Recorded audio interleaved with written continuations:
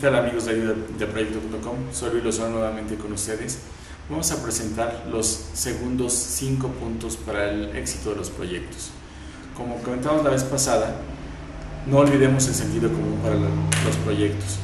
Metodologías, técnicas, herramientas son importantes, pero el sentido común también es importante para los proyectos. El sexto punto para esto es canalizar riesgos. Los riesgos nos van a afectar en aspectos de costo, tiempo, calidad, resultados y alcance del proyecto. Nuestro proyecto puede terminar tardío y a lo mejor ya no es oportuno. Puede terminar tarde y estar dentro de costo. Pero si termina tarde, puede ser no sin cumplir la satisfacción de los interesados. Tenemos que cuidar estos puntos y el riesgo lo analizamos desde el principio del proyecto, desde que planeamos el proyecto y va a haber riesgos en la ejecución del proyecto a lo largo del mismo y tenemos que anticiparlos. Es normal estar teniendo estos riesgos, lo importante es saber manejarlos. Punto número 7. Responsabilidad de los interesados y miembros del equipo del proyecto. Los roles de los miembros del equipo deben ser definidos desde que se planea el proyecto quién es el líder, quiénes son los miembros del equipo, quiénes son los clientes, quiénes son los proveedores, quiénes son los interesados, todos los que van a estar involucrados en esto. Cada quien va a tener que efectuar sus actividades de acuerdo al rol que tenga definido. En ocasiones hasta el jefe de uno mismo puede ser un subordinado en un proyecto específico, porque va a tener que respetar las actividades que tienen que ejecutar, porque sin su aportación el proyecto no se lleva a cabo. Esta definición de roles y responsabilidades es muy importante porque voy a tener que hacer lo que me corresponde, no voy a tomar la posición de alguien más.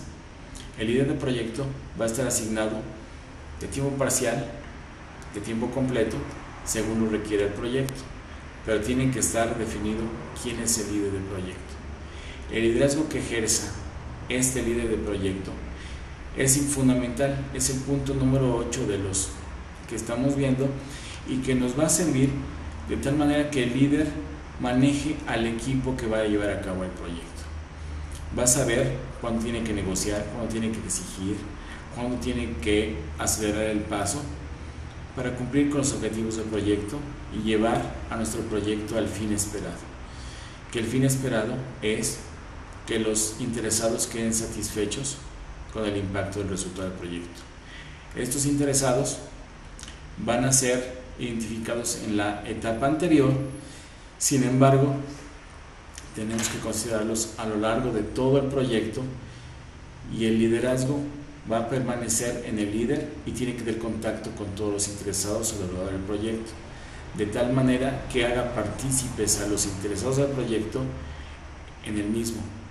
De esta manera minimizamos la posibilidad de la insatisfacción del proyecto por parte de alguien al final del proyecto y ese alguien puede ser el público final. Si es un proyecto de obra pública, pues el ciudadano común y corriente puede ser el afectado.